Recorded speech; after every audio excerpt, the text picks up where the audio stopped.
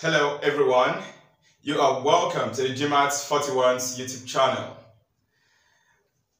In our previous class, I taught you the concept or theory of domain and I told you that the next time I meet you, we are going to look at how to evaluate the domain of a function. So in this video lesson, you are going to learn how to obtain the domain of different functions. We are going to start with polynomial functions. When you are given a polynomial function, how do you obtain the domain of that function? It would interest you to know that getting the domain of a polynomial function is quite a simple one. In fact, it happens to be the simplest form of domain that one can obtain.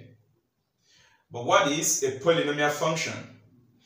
Generally, a function that is given us, let's say f of x equal to ax raised to power n plus bx raised to power n minus 1 plus cx raised to power n minus 2 plus it continues in that order. Are you following right? Such expression is known as a polynomial expression. Now the powers n, n minus 1, n minus 2 in that order they are not expected to be a fraction or a negative power.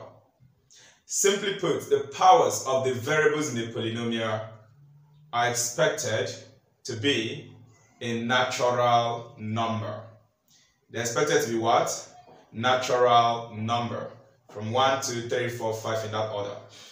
Okay, so let us take our first question and see how we can obtain the domain of this polynomial function. Define y equal to f of x such that real number is mapped to real number. That's how we read this term here, okay? So we have to define y to be f of x such that f of x is a function in which real number is mapped to real number as f of x equal to 3x squared plus 5x minus 2 then the domain of f of x is dash. We don't know. So in this problem, we have to find the domain of the function f of x. Take note that y is always called f of x. They mean the same thing, okay? Because y is dependent on another variable here, which in this case, it is dependent on x. So we have to find the domain of this function. Now if you look at this function, this function is a polynomial function. You can see 3x raised to power 2 plus 5x, this is raised to power 1, plus this is 2, this is 2x raised to the power 0 if you want to force x to enter. Now how do we obtain the domain of this function? Simply place note, The domain of a polynomial function is real numbers. So always remember that if you're given a polynomial, the domain of that polynomial is all real numbers. The reason for this is simple.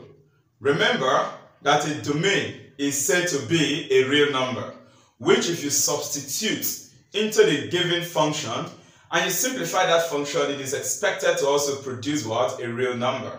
Now, if you look at this function given here, you notice that any real number in this world that you fix in for this x once you simplify, f of x will also be a real number.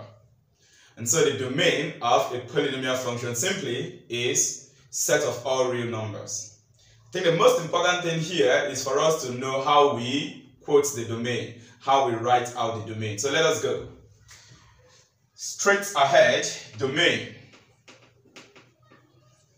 Now, I am going to express this in the various ways that one can quote the domain of this function. Remember we said it is set of all real numbers. So if we choose to use this brace bracket, we can say that domain is equal to the set of elements x such that, are you there right? x is element of real numbers. Then you close. x is what? element of real numbers. Now you know we don't know how many our real numbers are. So we just represent it this form.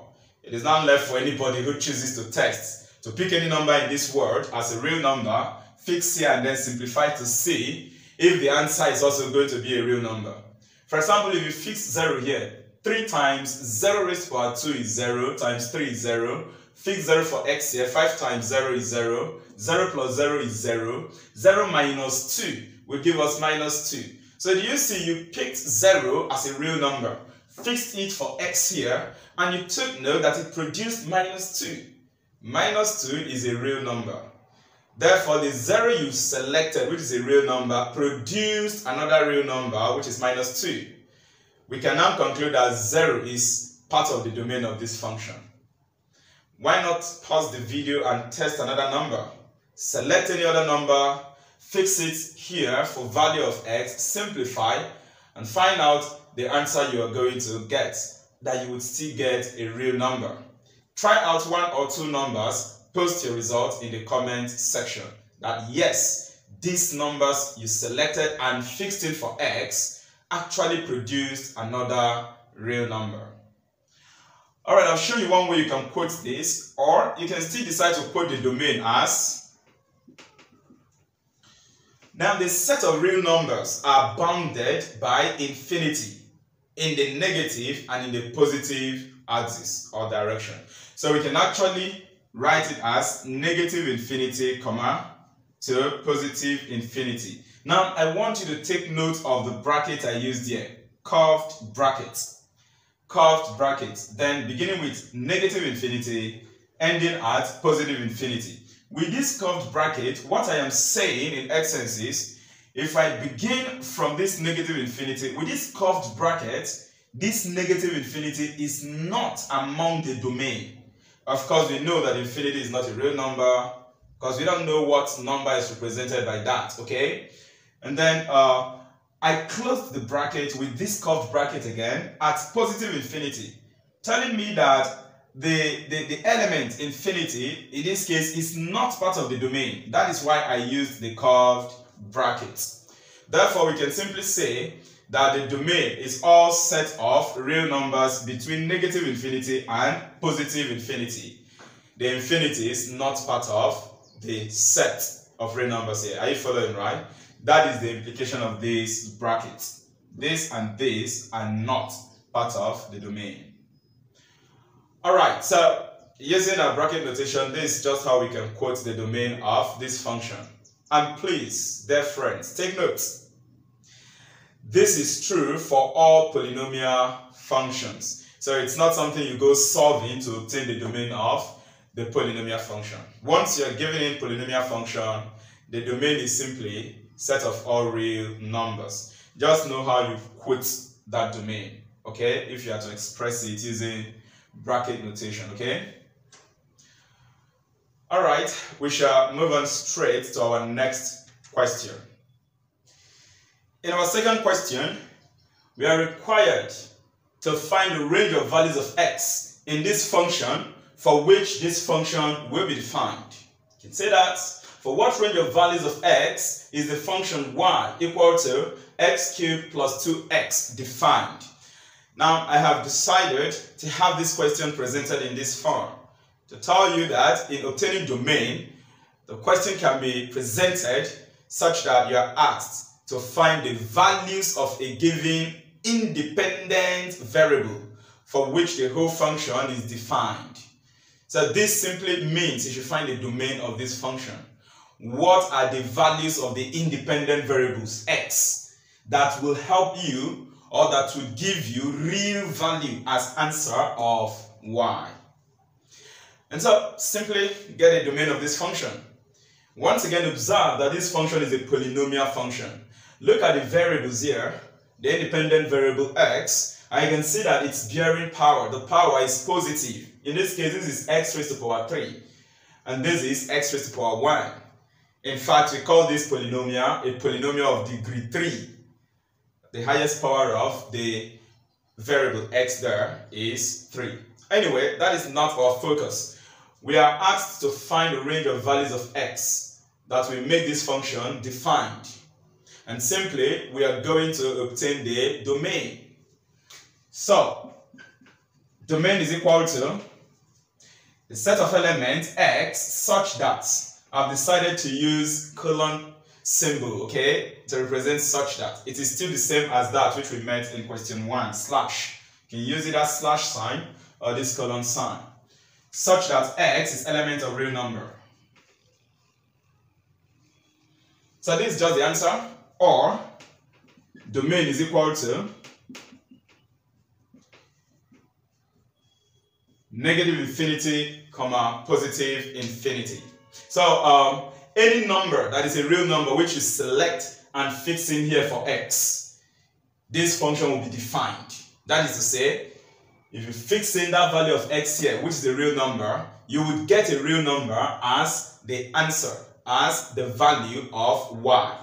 Remember the value of y you are getting, the value of the function when you fix in x. That value you get is called the codomain.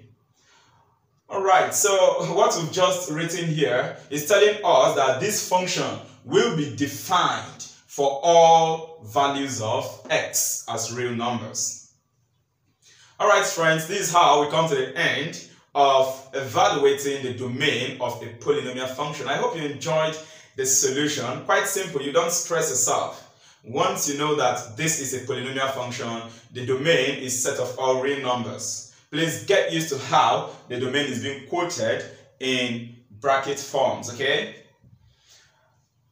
All right, we are going to deal with the domain of radical functions in our next class.